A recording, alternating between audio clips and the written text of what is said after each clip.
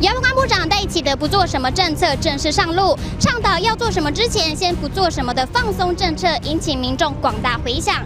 你了解什么是不做什么吗？记者实际走访街头。有啦，我的学生曾经跟我聊过这件事情。现在人哈，生活压力很大，每天追求就 KPI 啦，啊业绩啦。其实有时候我们要找一点时间给自己，就是沉淀，有时候比什么都还重要。所以放轻松，放轻松。尤其我常跟学生讲啊，就是当你在读书的时候啊，你当你发现你的课本变成三 D 的时候，整个文字都站起来的时候，那就表示你应该要休息了。其实最好的幕僚哈，不是建议。组织去做什么，而是叫组织不要做什么。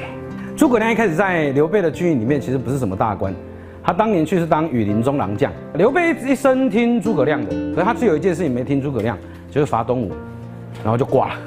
当然了，我打赌绝对会通过。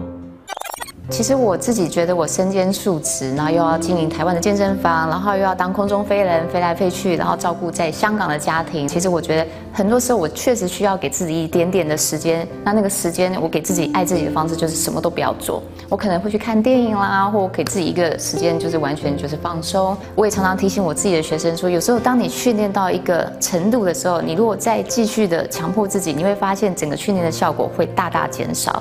所以我常常会提醒我的学生说，这个时候让自己停下来，什么都不要做，你会发现你在下一步的训练会让你在后面肌肉的整个的力量的使用上面，甚至爆发力上面会更有效。所以我觉得有时候让自己停下来一下，什么都不做很重要。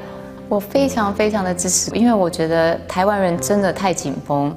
以我自己为例的话，我自己是做餐饮业的，但是我遇到订单很多的时候，有时候真的是手忙脚乱。那我听朋友说，那个不做什么，好像就是让自己稍微呃停下脚步，或许对工作上会有一些帮助。我觉得是一个蛮好的，我我应该会支持。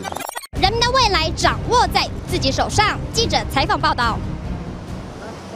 啊，记者写稿的时候也说五分钟放空啊，不然怎么写得出来？我也希望公投可以成功。